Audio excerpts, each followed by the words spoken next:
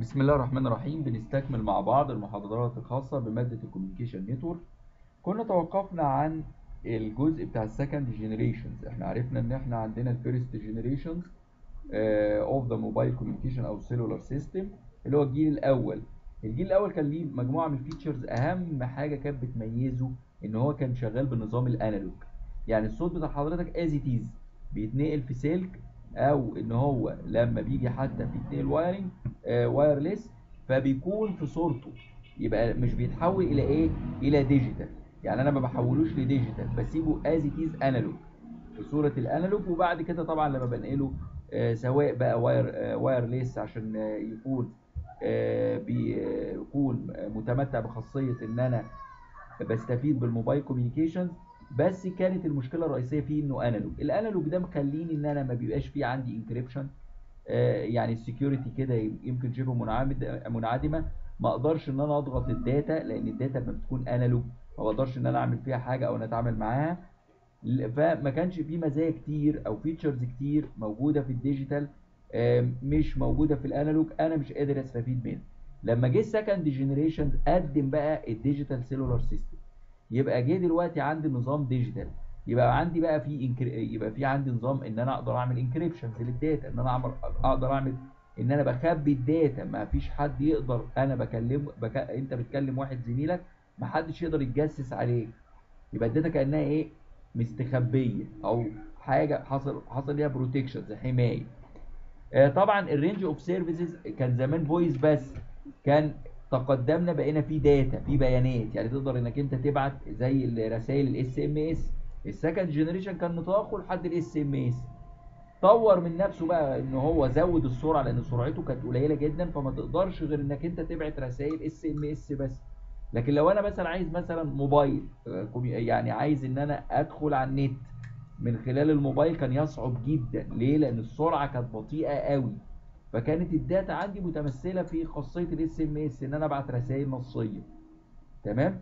يبقى ده اللي كان موجود عندي لكن ال data دي ما كانتش نقل ال data دي ما كانتش موجودة في ال first generation كان voice بس.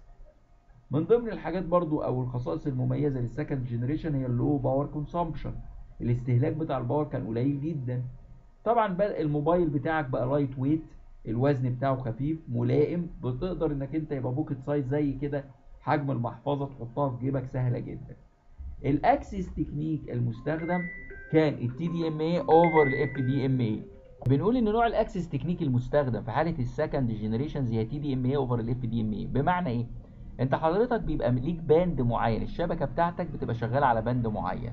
ال band اللي أنت شغال عليه ده أنت بتقسمه لمجموعة من ال sub band لكل user يعني كل user مش بياخد ال band كله بياخد جزء من ال band ده. يعني مثال يعني أنا مثلا ممكن أقول لك أنا ليك إيه مثلا 100 ميجا ال band بتاعنا 100 ميجا for example يعني. أنت ال user الواحد مش بياخد ال 100 ميجا كله ممكن كل user ياخد له كام؟ ياخد له 1 ميجا منهم خدت بالك؟ يبقى أنا هخدم على كام user؟ هخدم على 100 user. طيب بنكمل كلامنا ان إحنا بنقول ان كل user واخد 1 ميجا. يعني مثلا يبقى ال 100 ميجا دي خدمت على 100 user. يعني عندي كل user خد له 1 ميجا من ال 100 ميجا.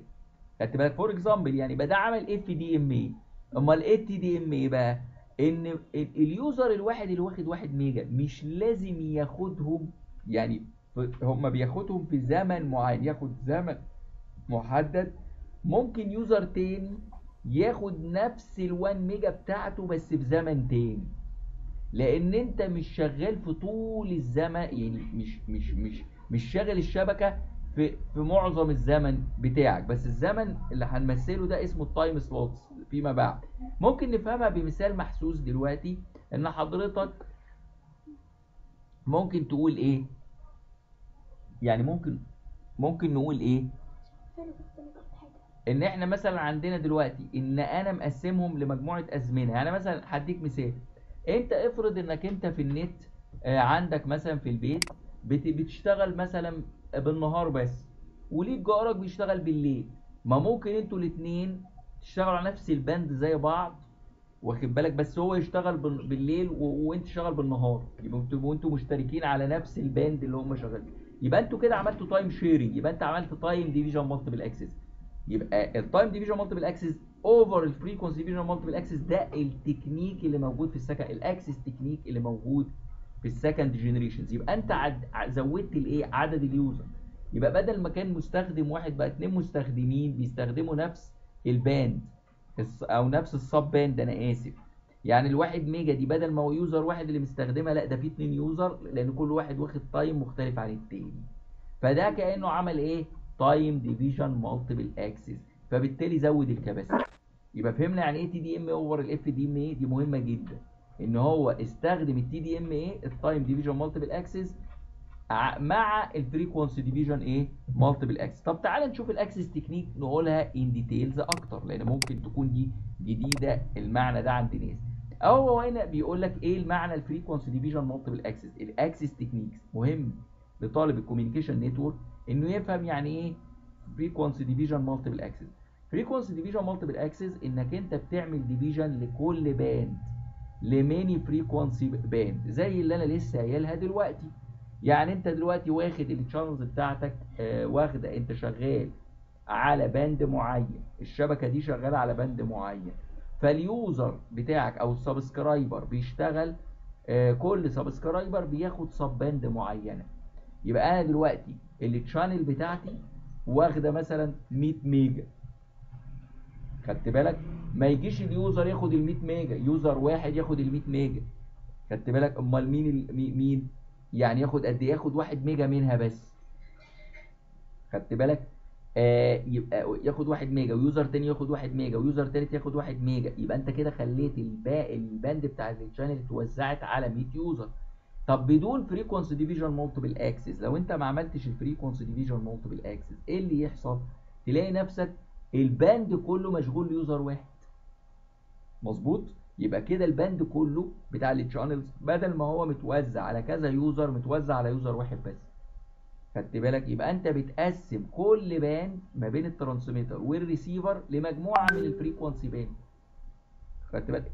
أو مجموعة من ال sub band يعني بتتقال عليها كده دي اسمها ال frequency division multiple access technique هدف منها إن أنا بستفيد من ال band اللي موجودة بتاعت ال channel لأكتر من user يستخدموها.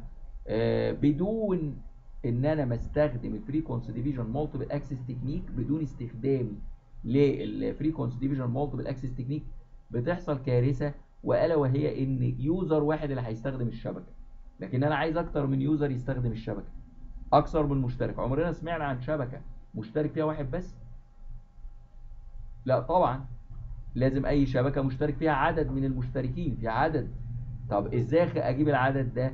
إن أنا بستخدم access technique مناسبة. فمن ضمن ال access technique دي أبسط أنواع ال access technique اللي هو ال frequency division multiple access technique ببساطة جدا إنك ال channels عندك ليها band معين حضرتك بتقسم ال band ده لمجموعة من الإيه؟ من ال sub band طب ال division ال time division multiple access technique برضو بن allow several user أكتر من user مش لازم اتنين بقى أكتر من user يستخدموا نفس ال radio frequency ال RF أو نفس ال sub band by dividing it إن أنت تقسمها لمجموعة من ال time slots يعني انت دلوقتي ال sub band اللي مخصصة ل user لا لأكتر من user. بس مشتركين. كل واحد واخد زمن معين. كل واحد واخد time slot معينه يبقى كل user واخد time slot معينه ده بقى يبقى إيه؟ ال time division multiple access technique يبقى أي واحد بيجي access الشبكة بتاعتي بيبقى ليه time slot معين و frequency معينة. أو sub band معين هو شغال عليه. يبقى كل user بياخد له time slot معينة و sub band معين شغال إيه عليه. خدت بالك؟ طبعا لازم كل user ال time slot اللي واخدها مختلف عن ال time slot بتاعت يعني انت مثلا واخد time slot معين و sub band معينة. خدت بالك؟ مميز عن ال subscriber subscriber غيرك. بيتميز عنك بإيه؟ أو بي access الشبكة بإيه؟ لازم ال time slot اللي واخدها. افرض هو في نفس ال sub band لازم يكون ال time slot بتاعه إيه مختلف عن ال time slot بتاعك. خدت بالك؟ يبقى انت بت access الشبكة بتاعتي بحاجتين في GSM أو في 2G ب time slot و sub band معينة. يعني انت لو مقسم بمثال بسيط جدا لو انت مقسم ال sub band بتاعتك ل 100 sub band خلاص؟ يعني زي اللي إحنا المثال اللي قلناه 100 mega مقسمهم كل user 1 mega. فأنت مقسم ال subscriber الأولاني واخد ال sub band الأولانية ال subscriber الثاني واخد ال sub band الثانية وهكذا. طيب في أنا لو لو أنا اشتغلت FDMA بس؟ يبقى أنا معيش غير 100 user بس. صح؟ طب لو مديت العملية واستخدمت access technique كمان اللي هو TDMA قال لك إن كل بقى sub band متقسمة لمجموعة من ال time slots نقول مثلا ولو يكن 8 خلاص؟ 8 time slot من time slot رقم 0 ل time slot رقم 7 يبقى من طي... يبقى كده بدل ما هم 100 user هيبقوا كام user؟ 800 هضرب في 8 وكل user بي access الشبكة بإيه؟ ب time slot معين و sub band معينة. وهتلاقي إن ال user اللي بي access الشبكة دي ب time slot معين و sub band معينة يعني هو بي access الشبكة ب time slot معين و sub band معينة مفيش user تاني هيكون واخد time slot نفس time slot ونفس ال sub band يعني مختلف عنده. يا إما مختلف في في ال time slot يا إما مختلف في ال band في حاجة مختلف فيها عشان يتميز ال subscriber عن التاني. وضحت الرؤية؟ يبقى الهدف إن أنا استخدمت TDMA مع ال FDMA إن أنا زودت عدد ال subscriber أو عدد الايه ال user بتوعي اللي بيستخدموا الايه الشبكة بتاعتي. ده اللي هو اللي أنا لسه متكلم عليه اللي هو التي دي ام اي اوفر الاف دي ام اي ممكن أنت تستخدم time division بس ممكن تستخدم ال frequency division بس بس في ال 2G شغالين الاثنين مع بعض. طيب.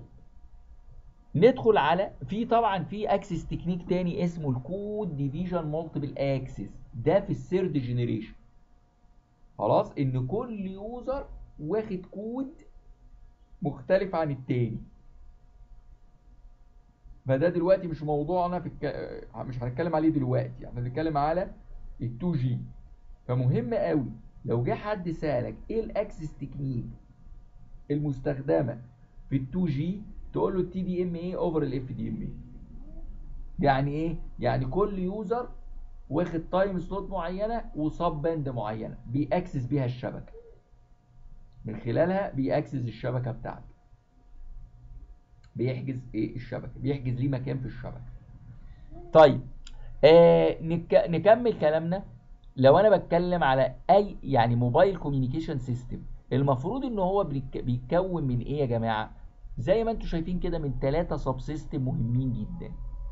sub system اسمه ال base station sub system اللي بيبقى فيه المحطة. إحنا بنشوف بناخد بالنا ان إحنا عندنا أبراج مختلفة. مش أنتوا بتاخدوا بالكم يا جماعة ان أنتوا بتلاقوا برج. بس خلي بالك لازم تميز ما بين البرج اللي هو بتاع البرج الكهرباء أو المحطات الكهربائية ومحطات الاتصالات أو شبكات التليفون المحمول. بتلاقي اللي, اللي بتاعة الكهرباء كابلات كهرباء ما بين كل برج والتاني. مش أنت وأنت ماشي على الطريق كده مسافر رايح مكان بتاع. مش بتلاقي كده زي أبراج ويقول لك محطات الضغط العالي. أبراج الضغط العالي. حلو دي بتاعة الكهرباء ماليش دعوة بيها. في أبراج تانية بتلاقي كده فيها انتنات موجودة. انتنه كده موجودة وبتاع كده. عامل زي إيه؟ قريب كده من شكل طبق الدش. الطبق بتاع الدش كده بس على صغير شوية. مش بناخد بالنا منها دي يا جماعة وأنتوا إيه اللي بيروح المدن الجديدة بي بتبقى باينة قوي أو متشافة قوي مرئية بالنسبة له الأبراج دي. خدت بالك؟ البرج دوت من ضمن الحاجات اللي, اللي هي بت إيه بتبقى من مكونات الشبكة بتاعتنا بتاعت ال mobile communication من أهم الحاجات في ال mobile communication زي الأبراج دي. يعني أنت الأبراج دي أنت بتعمل اتصال أو link بيها عشان تتم مكالمة عشان يحصل calling لازم يتم هذا ال calling من خلال هذه المحطات. لذلك الناس اللي بيبقوا قريب منها هذه المحطات أو الأبراج وبيتسمى site اسمها site خلاص؟ لازم بتبقى قريب من هذه الايه الأبراج. يعني أنت كل ما تبقى قريب منها بتلاقي الشبكة قوية. في بعد شوية مش جنبك أبراج بتلاقي إن الشبكة بتاعتك ضعيفة شبكة المكالمات. أنا بتكلم على المكالمات مثلا. يعني تيجي تعمل مكالمة تلاقي إن المكالمة ضعيفة وتقول الشبكة عندي ضعيفة أو whatever ده بناء على إيه؟ هل أنت جنبك الشبكة قريبة منك ولا مسافتها قد إيه؟ دي, دي اللي بتفرق معانا. خدت بالك؟ اللي هي الأبراج دي يعني البرج زي ده. ده اسمه ال base station system طب في إيه تاني؟ في switching system switch انت عارف ان انت أساسا بمثال بسيط جدا في أي مكان لما بتيجي تتصل مثلا برقم في مؤسسة معينة مش يجي يقول لك هنوصلك بال switch آه، يعني مثلا إيه أنا أوصلك بال switch هو اللي يقول لك أنت آه، يوجهك لل لل للايه آه، للمبنى اللي أنت عايز تتواصل معاه. يعني أنت مثلا عايز تتواصل مع سكرتارية العميد أو تتواصل مع الوكيل بتاع المكان المعهد بتاعكم مثلا. فأول link بيحصل إيه؟ إنك بتتواصل مع ال switch. ال switch هو اللي يوصلك. مش كده؟ نفس الحكاية فكرة ال switch كده. إن هي بتوصلني عشان أنا مثلا دلوقتي أتوصل أتواصل مع الشخص اللي أنا هكلمه. يبقى هي اللي بتوجهني أو بتوصلني. بالإضافة من ضمن ال systems أو ال architectures بتاعي اللي هي الإيه؟ ال maintenance التشغيل والصيانة. يعني لازم يبقى في وحدة كده خاصة بإن أنا بشغل بتعمل تشغيل لأي خاصية أو أي خدمة والصيانة لأن ممكن يبقى في حاصل مشاكل في ال network بتاعتك. تمام؟ فإذا ال cellular systems بتاعك بيبقى هذه مكوناته. يبقى بيبقى في عندي محطة وفي عندي switching system وفي عندي جزء خاص بالإيه بالتشغيل والإيه والصيانة. واضح هذا الكلام؟ طب ممكن نوضحها كده إن أنا عندي برضو طب أنا هسأل سؤال أنت لما تيجي شرحت ده في واحد هيقول طب هو فين الموبايل في الموضوع؟ اللي أنا بتكلم منه. يبقى ده جزء برضو من الشبكة. يبقى في محطة بنسميها ال mobile station محطة الموبايل. إيه محطة الموبايل دي يا جماعة؟ ببساطة أنت عارف أنت وأنت ماسك الموبايل في إيدك وماشي ده هو ده ال mobile station. عارفين الحكاية دي؟ يعني الموبايل اللي حضرتك ماسكه في إيدك ده وماشي بيه هو ده ال mobile station. أنت معاك محطة ماشي بيه بس محطة صغيرة. وفي بقى المحطة الكبيرة اللي بتتعامل مع مع مع ال radio frequency اللي هي الأبراج. اللي هي الأبراج بتاعت الايه اللي هي اللي اسمها ال site خدت بالك؟ اللي هو البرج بتاع الخاص بال mobile communication زي ما أنا قلت لكم. البرج ده بيبقى فيه محطة وحاجة اسمها BTS وحاجة اسمها BSC وبيتواصل هذا البرج مع حاجة اسمها switching إيه subsystem أو ال network subsystem اللي هي بتخليه يتوصل مع الموبايل الآخر اللي هو بيخاطبه. خدت بالك؟ أو الشبكات الأخرى اللي هو بيت إيه؟ بي link معاه. يبقى كده إذا أنا أهم حاجة عندي ال mobile stations اللي هو محطة الموبايل. هي ال mobile station دي عبارة عن إيه يا جماعة؟ جهاز الموبايل. وال SIM card الشريحة اللي فيه. بدون الشريحة يعتبر الموبايل ده حتة حديدة معاك ملهاش أي قيمة. لأن ال SIM card هو ده اللي بيتخزن عليه كل البيانات بيتخزن عليه كل الحاجات. وهو ده اللي بيتم من خلاله ال link مع المحطة بتاعتك عن طريق ال SIM card. خدت بالك؟ لذلك انت لو معاك مثلا موبايل واتسرق ومثلا اتسرق منك أول حاجة بتعملها هي بتبلغ الشركة بحيث إنها إيه؟ آه، أنا اتسرق مني الموبايل وعايز أجيب شريحة جديدة بيكون وقف لك الشريحة السابقه وتشتغل على الشريحة إيه؟ بتاعتك اللي هي فيها ال data كل ال data عند عند بتاعتك موجودة عندهم عند الشركة اللي أنت مشترك فيها سواء مثلا فودافون أو موبينيل ال operators بتاعك. ف in general ده هو بيمثل إيه؟ الشريحة اللي موجودة عندك في الموبايل. يبقى انت الموبايل دوت بيتمثل بحاجتين العدة الموبايل الجهاز نفسه اللي هو اسمه ال mobile equipment اختصاره ME وال SIM card اللي هو الشريحة. خلاص؟ يبقى حاجتين يبقى عمري ما أقول ان الموبايل بس هو لوحده ليس هو ال mobile station لازم معاه مين؟ ال SIM card فهو حتى هو ممثلها لك اهو. الجزء الثاني عندك اللي هو مين؟ المحطة. المحطة دي اللي فيها إيه؟ المحطة دي فيها ال BTS حاجة اسمها ال base transceiver station transceiver يعني إيه؟ حد عارف يعني إيه transceiver ها؟ يعني transmitter و receiver بالظبط يعني بي transmit وبي receive في نفس الوقت. هو فعلا بيحصل كده. هو عندك اهي هو عامل لك زي شكل انتنه من فوق. الانتنه دي بتعمل إيه يا جماعة؟ دي الانتنه دي من أهم الحاجات بالنسبة لنا في المحطة. الانتنة قلت المرة اللي فاتت بتعمل إيه؟ ها؟ أنتوا جاوبتوني ساعتها. بترسل ما بترسل آه بترسل إشارة كهرومغناطيسية بترسل أو تستقبل. طب لما تيجي ترسل بتاع بتحول من إيه؟ لايه هي أصلا خلي بالك البرج ده متوصل بكابلات كهرباء. فكابلات الكهرباء دي مطلعه electrical signal فبيحول ال electrical signal خدت بالك يحولها لإيه؟ ها؟ ل electromagnetic electromagnetic يحول عن طريق الأنتنة. فهو عامل لك ال radiations اللي طالع أهو اللي جاي من الأنتنة. الإشعاعات اللي طالعة من الإيه؟ من الأنتنة. خلاص؟ امم واضح هذا الكلام؟ ها؟ تمام يا دكتور. نكمل كلامنا طبعا. أنا دلوقتي عندي الانت طبعا البرج ده فيه الأنتنة. الأنتنة دي اللي بترسل وتستقبل. بتستقبل إيه؟ الموبايل بيبعت للإيه؟ للبرج ده. والبرج ده بيبعت لمين؟ لل network subsystem اللي جنب منه. يبقى هي دلوقتي ده زي كان حاجة وسيطة. طب هو واحد هيسأل سؤال. هو إيه الداعي ما ال mobile station يخاطب مباشرة مين؟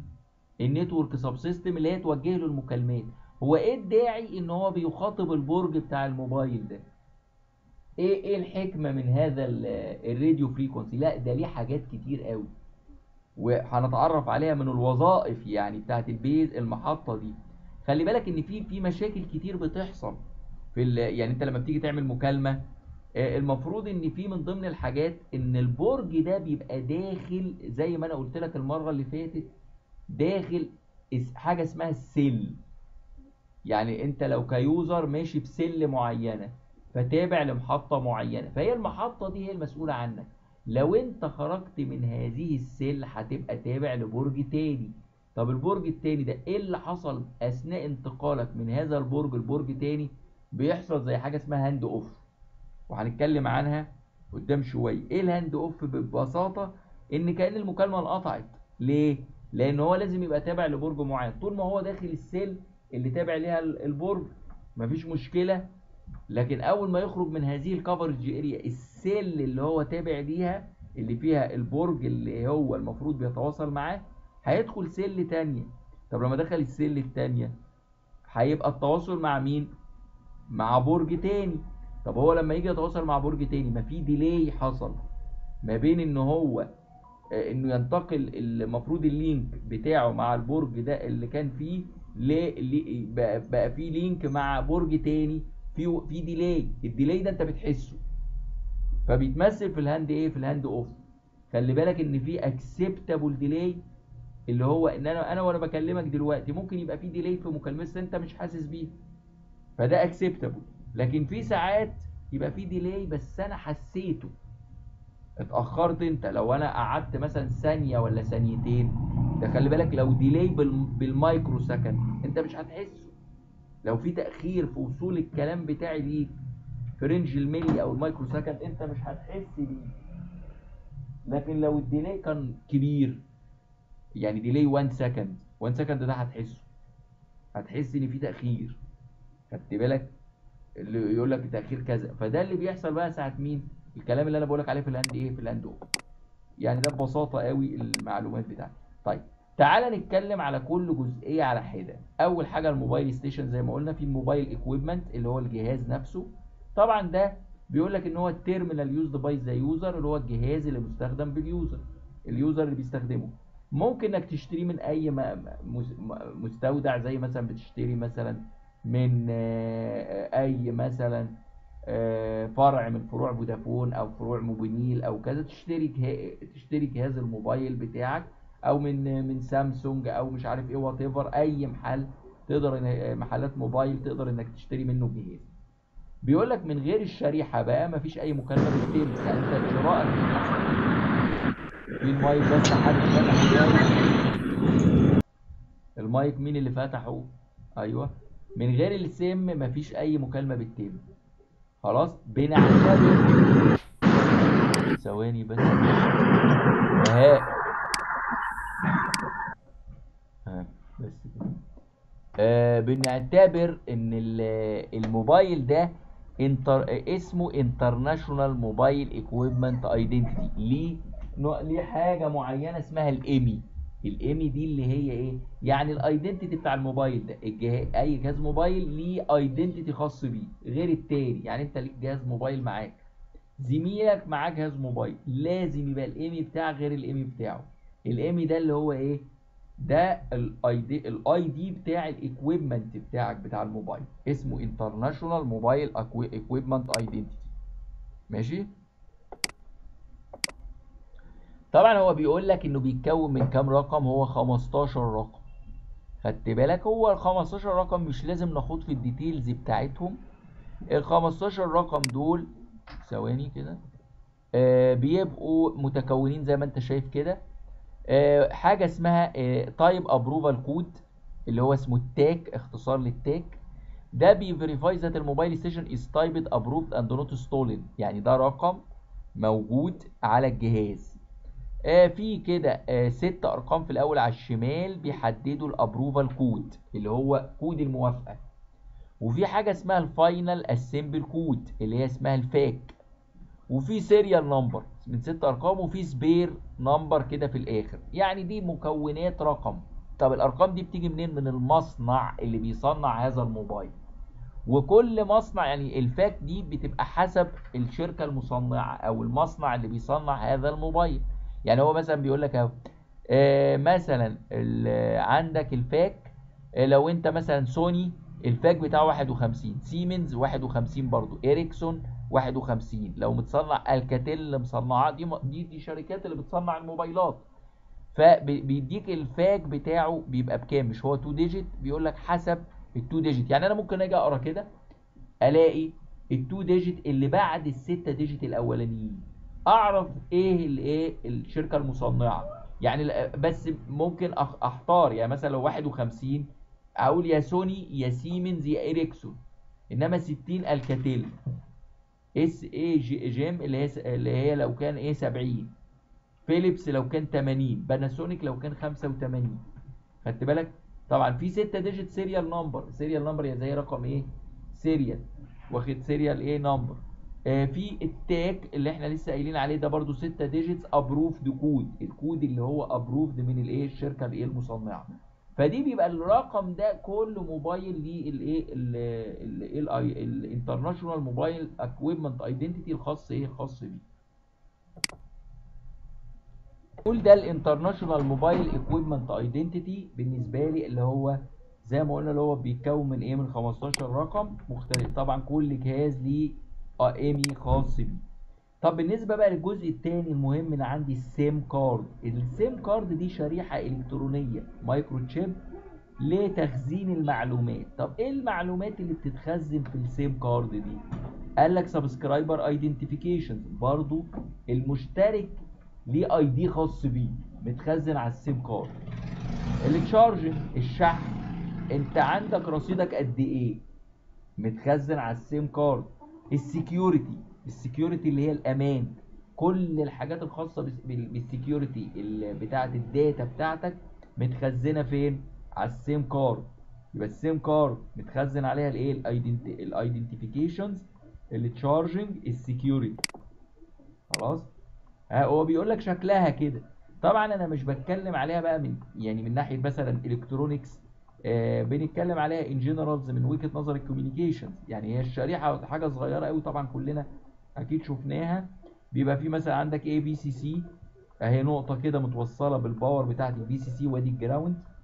وفي آه، نقطة بال reset نقطة متوصلة بال clock نقطة متوصلة بال input output يعني هي ده تعتبر زي إيه؟ شريحة إلكترونية مصغرة متخزن فيها informations معينة. طبعا بيبقى فيها مثلا مش بتكلم مثلا فيها microprocessor فيها رامات فيها memory فيها input output control يعني فيها طبعا ال microprocessor اللي خدناه مع بعض إن بيبقى تخيل الشريحة الصغيرة دي فيها معالج. معالج اللي هو بيمثل ال central processing unit اللي هو ال microprocessor في عندي ال ROM اللي هو ال read only memory اللي بيقرأ ال data وفي عندي ال EEPROM ال electrically erasable programmable ال ROM اللي هو ال- وال RAM ال random access memory يبقى عندي آه، ذاكرة مؤقتة وذاكرة إيه؟ دائما الرو الرو اللي بتمثلها ال ROM والر وال RAM. لأن في طبعا في في software أو برامج أنت بتنزلها بتنزل على ال RAM بتاعك بالإضافة إن في ذاكرة دائمه اللي هي بتمثل إيه؟ ال ROM اللي هي خاصة بالايه بال operating system اللي بيشغل لي الايه الشريحة دي. تمام؟ طيب إحنا دلوقتي اتكلمنا كله على الجزء بتاع ال mobile station آه نكتفي بالقدر ده. المرة الجاية إن شاء الله نتكلم على الجزء التاني لأن جزء مهم قوي اللي هو بيمثل ال base station آه subsystem في أي أسئلة يا مصطفى؟ في أي أسئلة؟ لا تمام كده. تمام. هعمل save للمحاضرة بس.